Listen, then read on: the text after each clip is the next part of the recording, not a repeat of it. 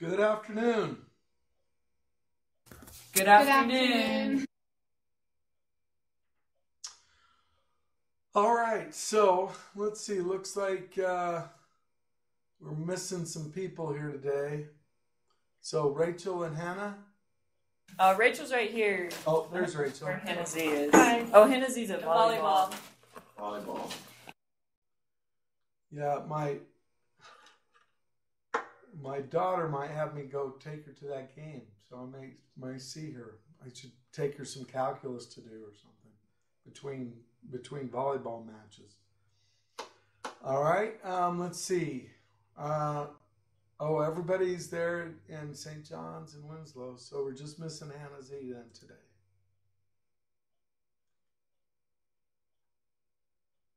Okay, so um,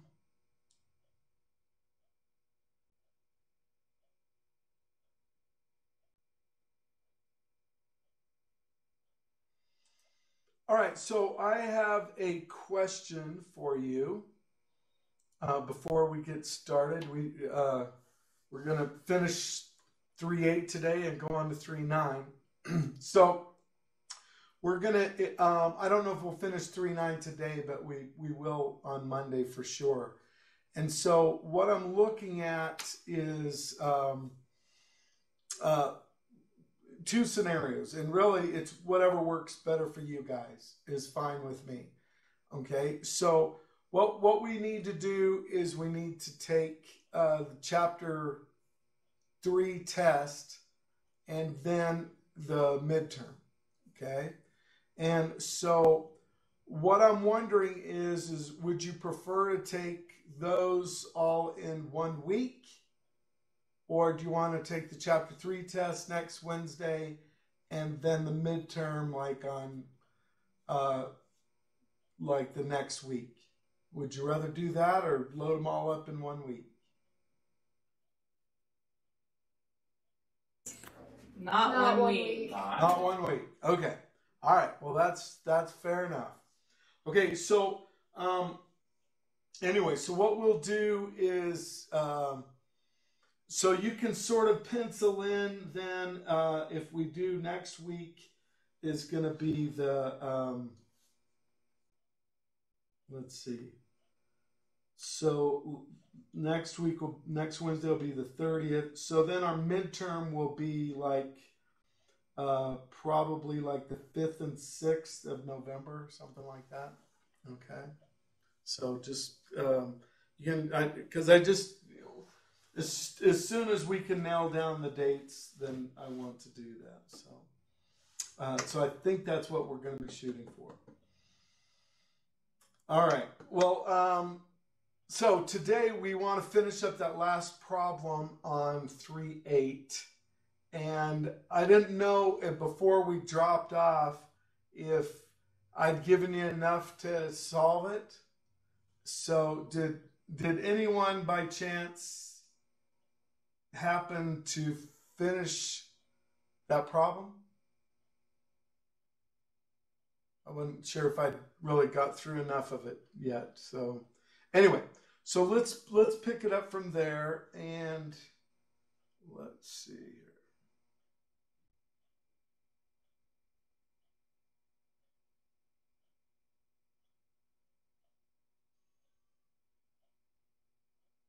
Ah, what happened?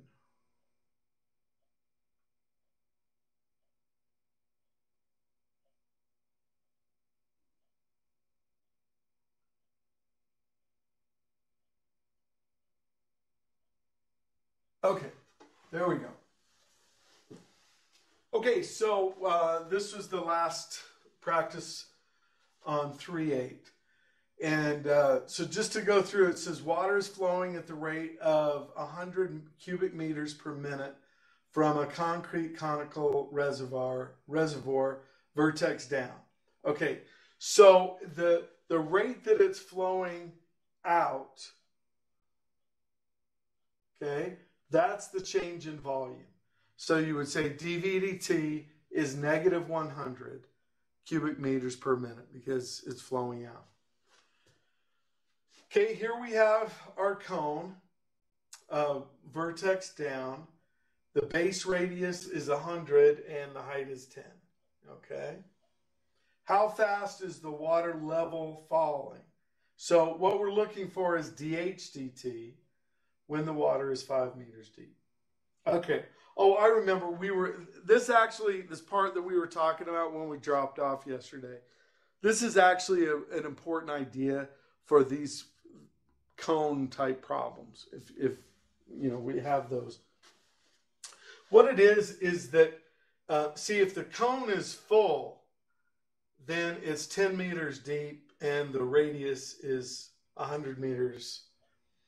But in any level, wherever you put the water level at, see, it changes the radius and it changes the height. Whatever the height is, it's going to have a different radius of the water, the surface of the water.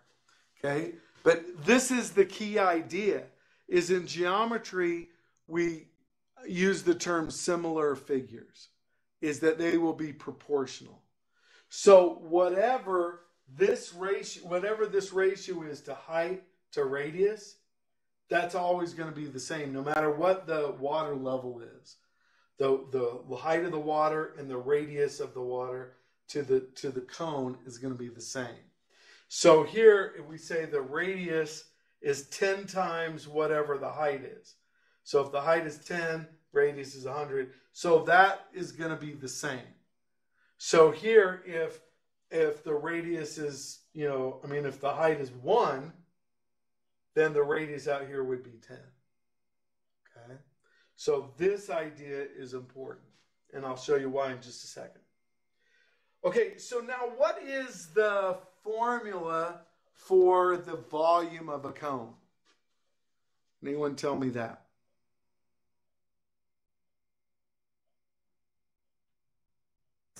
Uh, volume is one third pi r squared times height. One third pi r squared times the height. Very good. Okay. So, so we need that. Now, but before we jump in and start doing the derivative, what we want to do is use this to substitute in. Okay?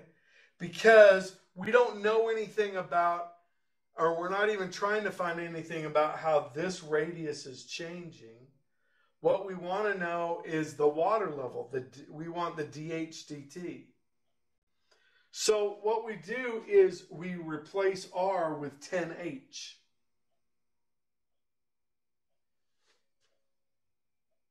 And so now if we simplify that,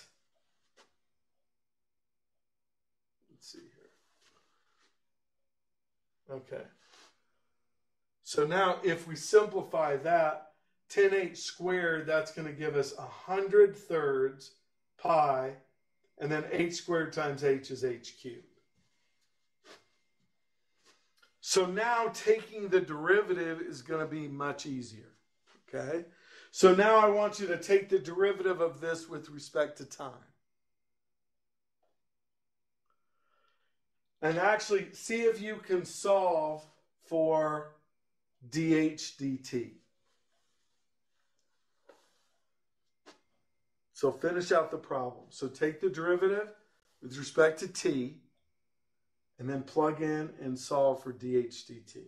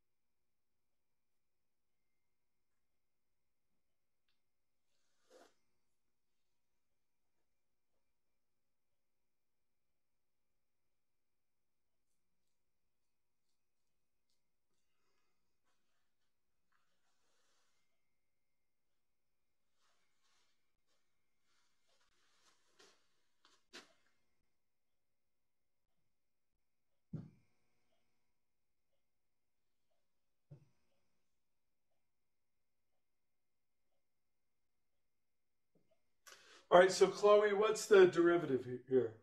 What's dv dt? So I wasn't really sure if you did 100 uh, over 3 times 3 or if you Yes. included the pi with that. Or do Uh, you not well- include the pi? Well, you the three is So- going to cancel with this three. Oh, okay. So when I did that, it, I got 100 pi h squared. That's it. Okay, 100 pi h squared. So so far so good. then- Times.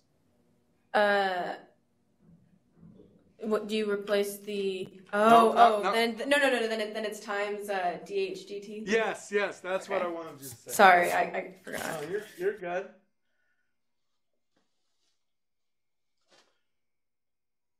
Okay.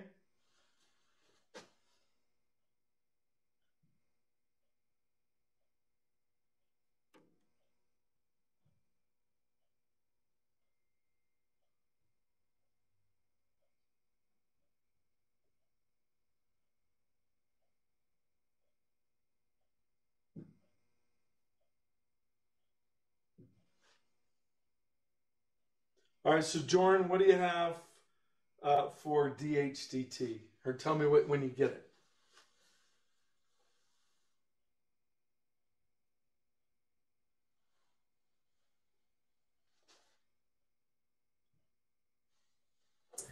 I got dHdt is equal to negative 1 divided by 25 pi.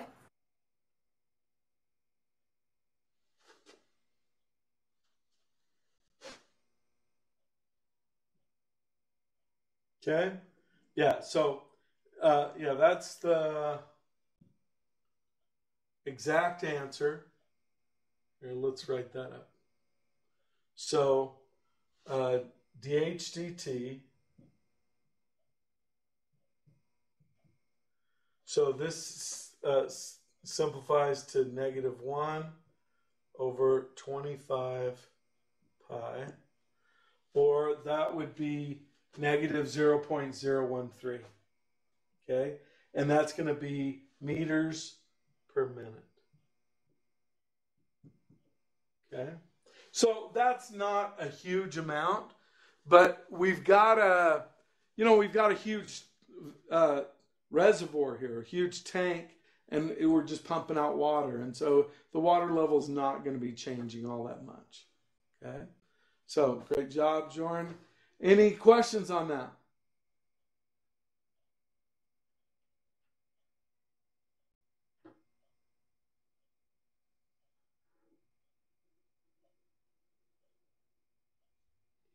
All right, any other questions on 3 8?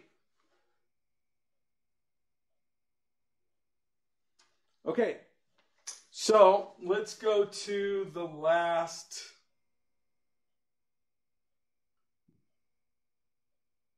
Uh, section here of chapter 3. So 3.9.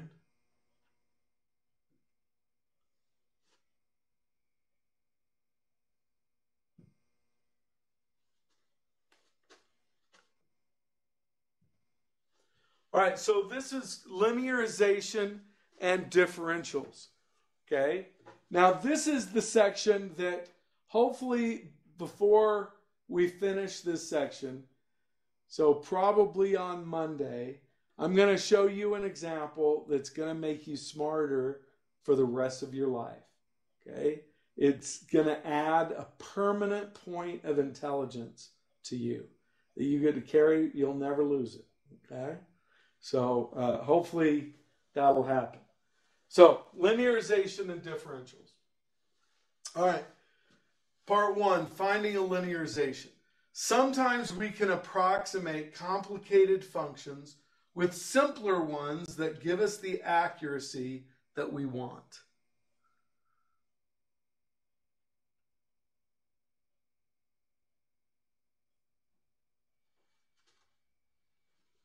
So why do we why would we do that? Well, because maybe the the calculus or physics or whatever that we need, it's much you know we can make our lives a lot easier by by uh, simplifying the function. So this is the idea. Okay, pretend for a minute that you only know how to do calculus on lines. Okay?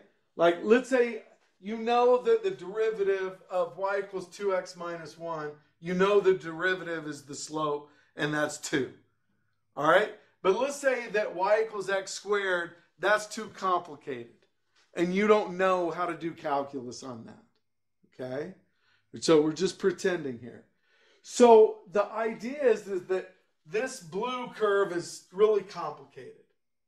All right, but we know this one is easy. Well, if we were to, if, if we needed to find, say, the derivative at the point 1, 1, well, if we zoomed in close enough on the calculator, then the line and the curve are indistinguishable. And so, for all intents and purposes, that line is the curve, is equal to the curve near that point. Okay, now look how much we had to zoom in though. Okay, so our x goes from 0.997 to 1.003.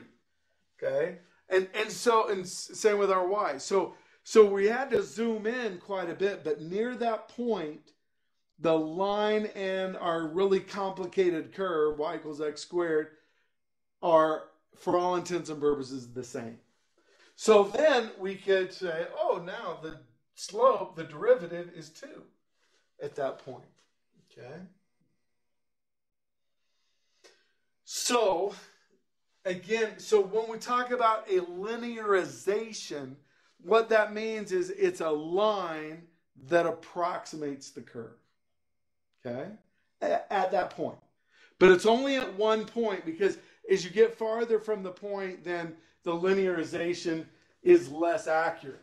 See, right here, the line and the curve are the same, but the farther away that you get, the difference is uh, in, uh, is expanded. The, the difference uh, is expanded as the, the, the, the curves get farther apart. Okay, now, so how does this work? How do we come up with this line? Well, it actually starts with a formula from algebra.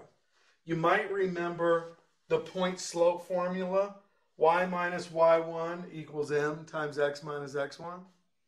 And so if I were to solve this for y, I would add y sub 1 to each side, and I get y equals y sub 1 plus m times x minus x sub 1. That really is what we're going to do, but we actually give it this we sort of label it in terms of calculus. Okay? But this that's highlighted is really the point slope formula solved for y. Okay, but this is how we're going to write it down in calculus. And I think this might go in the on the blank. Let me take, take make sure. Okay.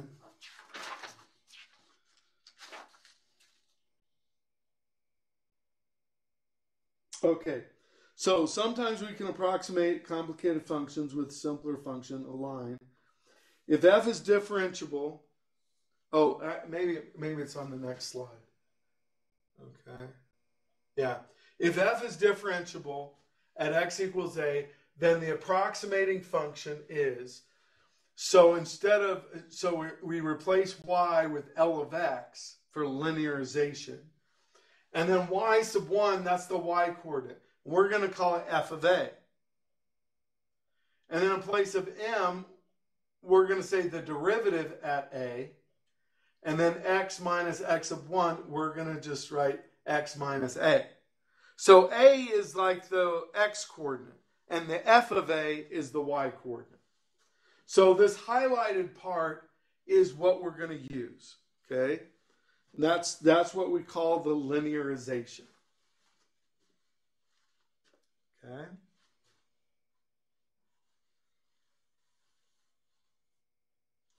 All right. So let me give you an example. So, a couple of things that we need. Okay, we we I mean think of the point slope formula. We need a point and we need a slope or the derivative. Now, sometimes we're given the point, sometimes we might just be given the x value. So if we're just given the x value, you have to plug in to figure out what the y value is.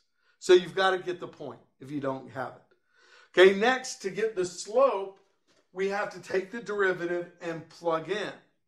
All right, so the derivative, y prime would be, okay, so chain rule time.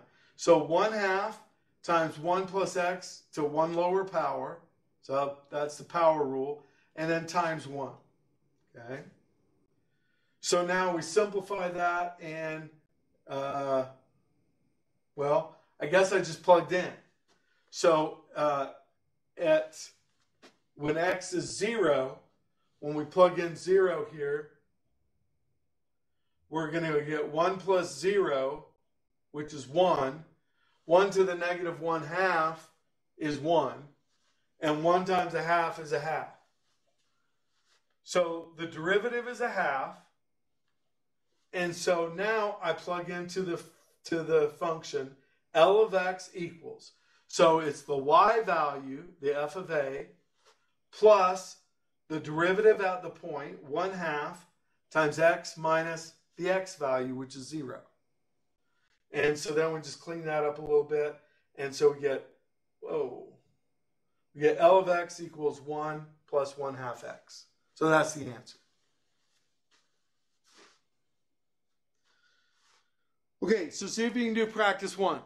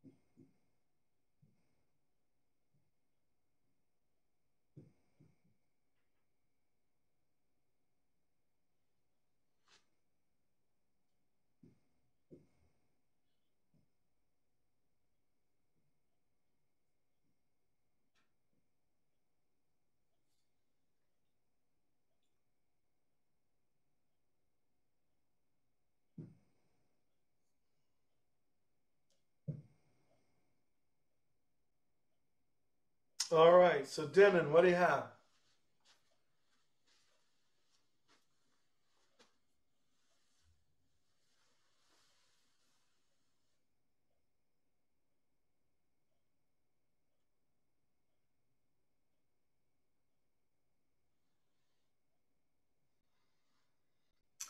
All right, let's start with the y value. When x is 0, what's what's the y value? What's the f of 0? One. 1. Okay?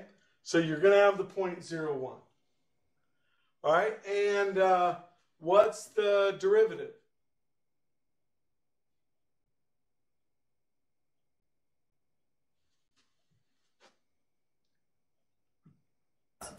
Uh, one over one minus x squared. Okay. So 1 over 1 minus x quantity squared. Okay? So,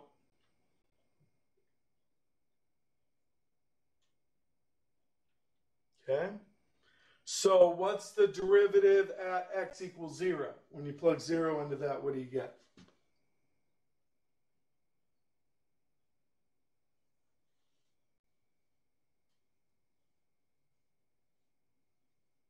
So, what's the y prime at 0? One. 1.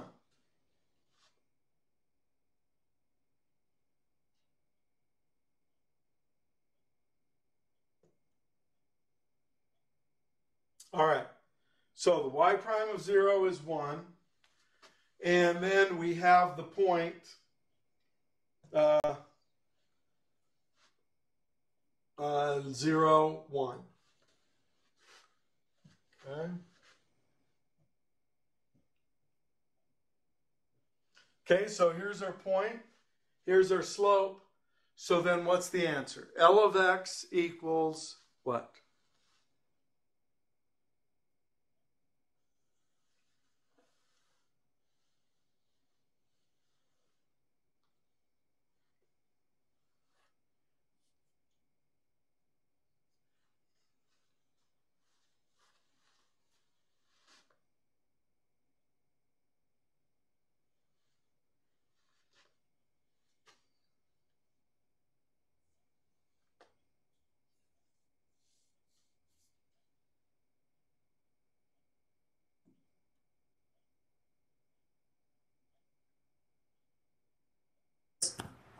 Um, one plus one times x minus zero.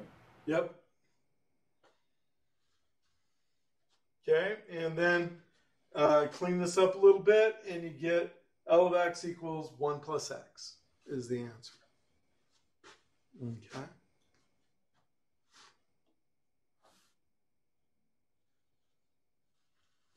All right, any questions on that?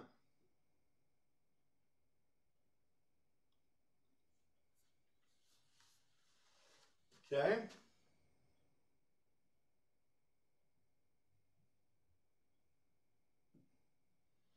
All right, so it says a linear approximation normally loses accuracy away from the center. Okay, so if you're trying to find the tangent at a point, you can do a linearization. But as you get farther and farther away, you could have a lot other. I mean, that that might not even be close to what the derivative is at somewhere else on the curve. So it's just the linearization only works at the point. Okay. All right. So let's go ahead and uh, have you do this one. Now, this is the same f of x that you had in practice one. So all I'm doing here is changing the x value. Okay.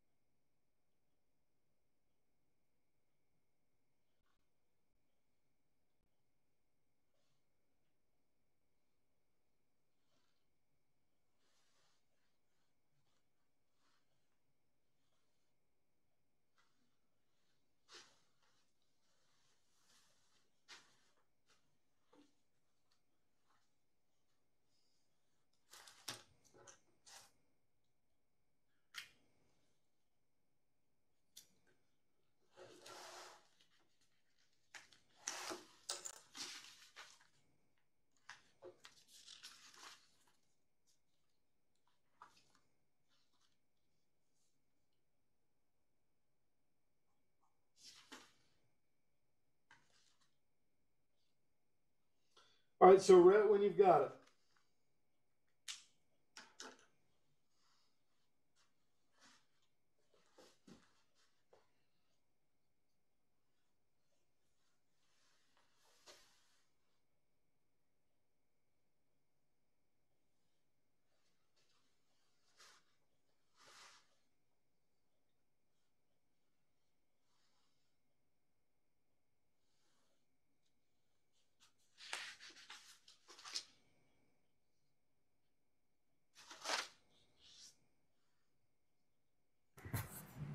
Um, L of x equals negative one half plus one fourth x minus three fourths.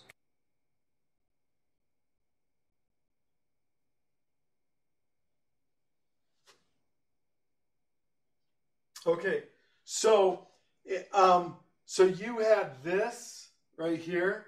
So if you have the negative one half and then the minus three fourths, see, I would rather you either left it like this or combine those like terms and get negative five fourths. So either don't distribute, but if you do distribute, then combine those those fractions. That make sense? Mm-hmm. Yeah, I, I forgot to combine those. So. Okay. Okay. All right. Well, good job. Any any questions on that? Anybody want me to work through it? We're good.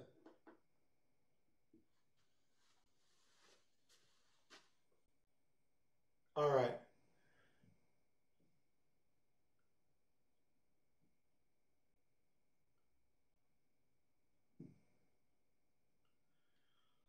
Okay, so uh, linearizations are calculated the same way for trigonometric functions.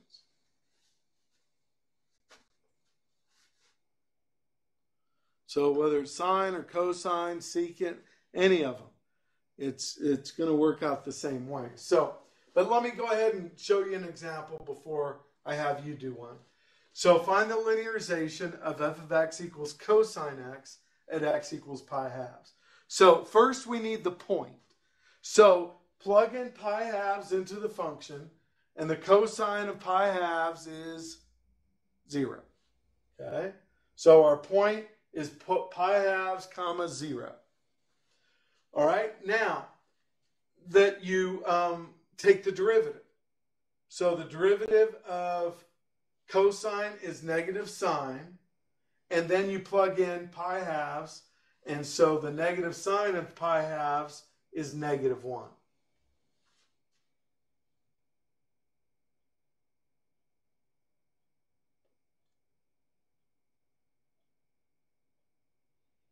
All right, and then you're ready to write down the linearization.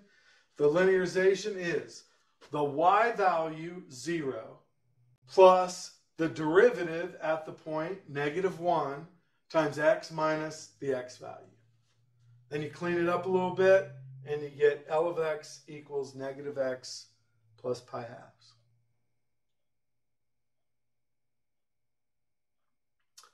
All right, so go ahead and try practice three, please.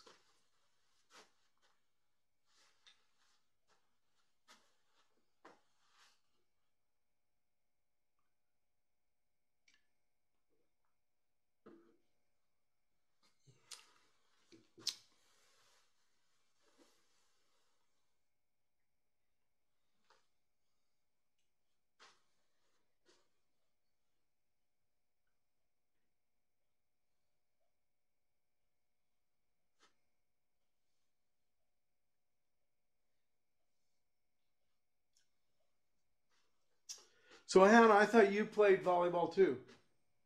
X. No, I just do basketball. It's basketball. Yeah. And Rachel, did you play last year? Nope. No. Hmm. But you did play basketball too, right? Nope. That's weird. Why am I associating you with the basketball? You're game? probably thinking of Hannah B, who was in the class last year. okay. Yeah. Probably. Maybe every hand. Or Timmy. Timmy was on the basketball anyway. Never mind. Okay.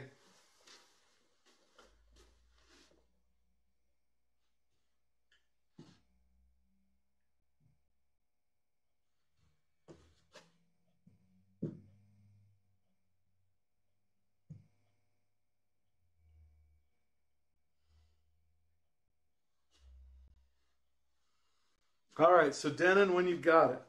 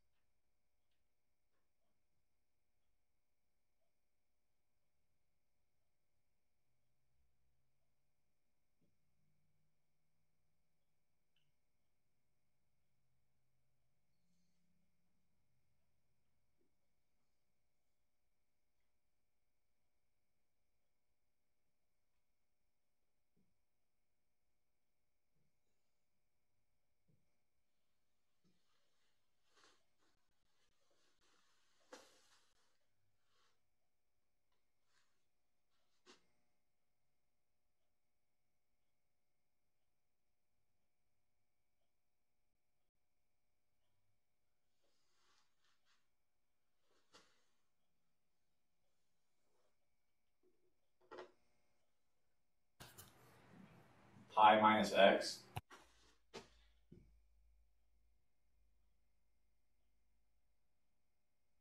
Good job. All right. Excellent. Any questions on that? Anybody need me to work through it? Okay, so so it seems like you guys have a good understanding of this linearization. Okay. So I think I'm gonna go ahead and uh, make you smarter right here. Okay. So the first thing is that with linearization, it can be shown that 1 plus x to the k is the linearization for that can be 1 plus k times x. Okay? And but that's only true when x is near 0 but any k. All right? So that linearization is is important. Now, while you're looking at that, I, I'm going to start off telling you a little story. Okay, so when I was just a freshman in college, I was in this um, uh, I was a physics major at this honors uh, program. And I mean, it, it was pretty exciting because at the university where I was at, they had like a super collider. And, you know, if, if you ever saw like uh, Cisco on the Flash, that was like me. That was going to be me. Anyway, but as I started studying physics, there were some basic ideas that I didn't understand. And the more I studied, I couldn't get it. And I'm gonna I'm gonna tell you what happened is that um, that this idea linearization was the key. Let me just kind of jump ahead.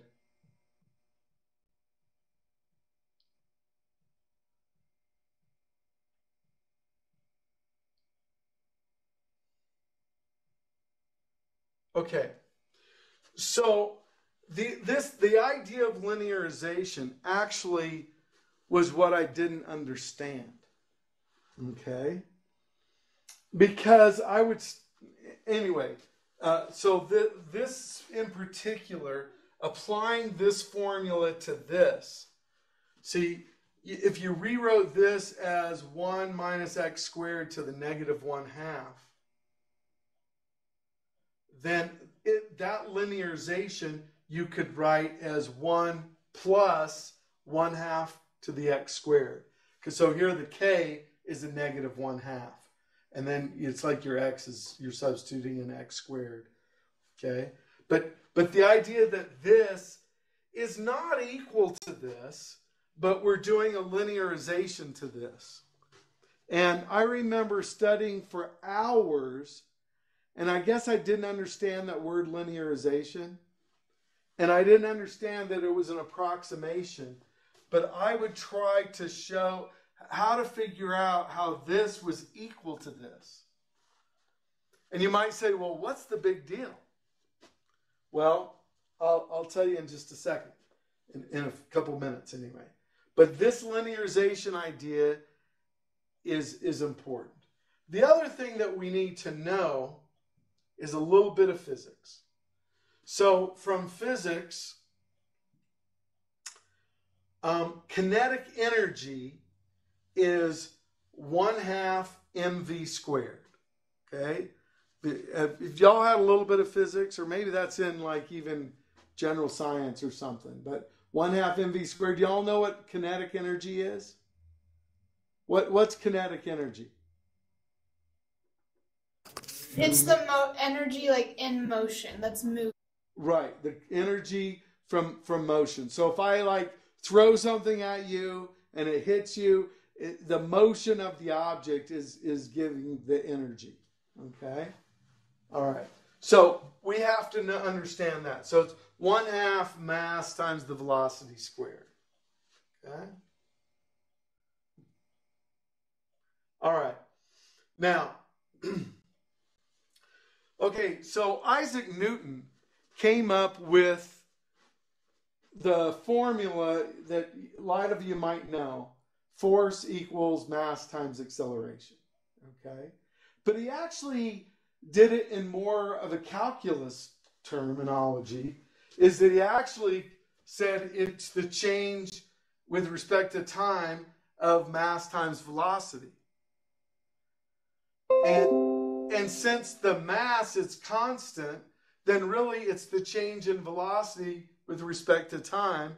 And we know the derivative of the velocity is the acceleration. But originally he had, uh, Isaac Newton had this idea of it's the change of mass times velocity, which ends up being mass times acceleration.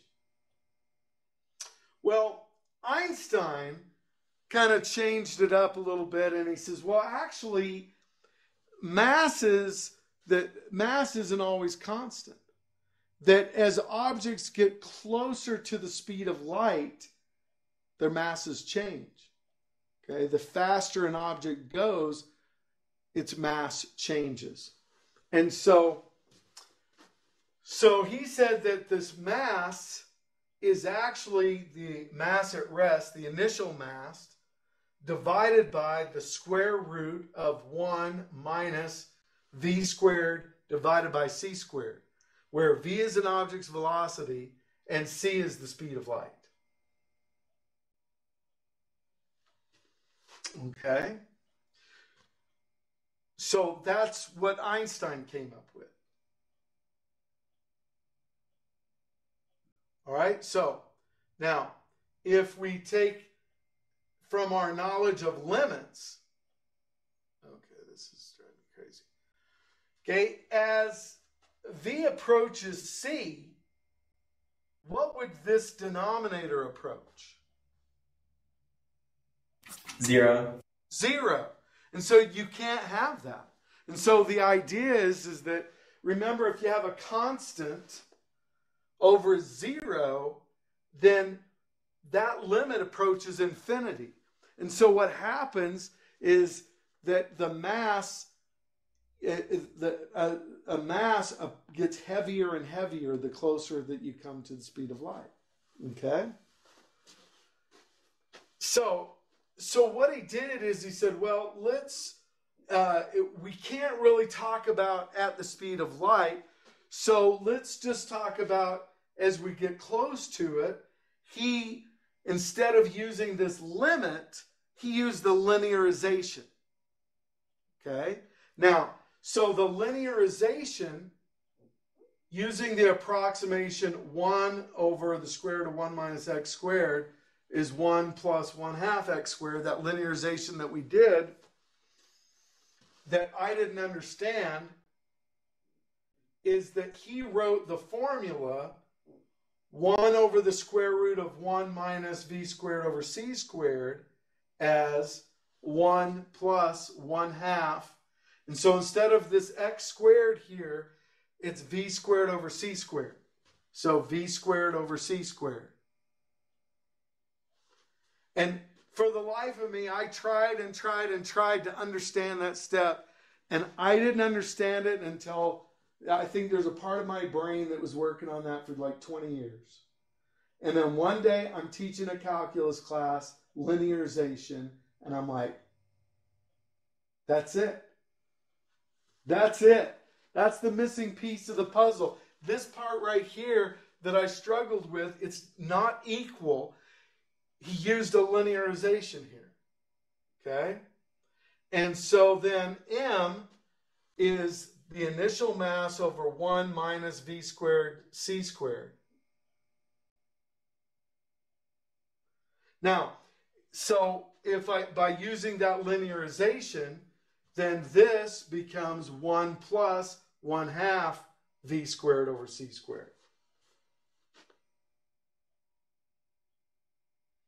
And so now I distribute the m sub 0. m sub 0 times 1 plus m sub 0 times 1 half v squared c squared. All right, so now uh, let's see, we also split v squared over c squared to v squared times 1 over c squared.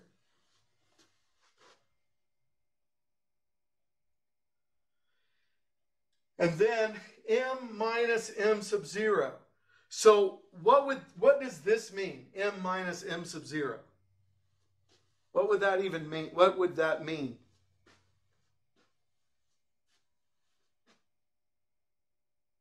Um, the mass of- the speed that it's at minus the initial mass. Yes. So the the mass that it's at minus its initial initial mass. So that's the change in mass.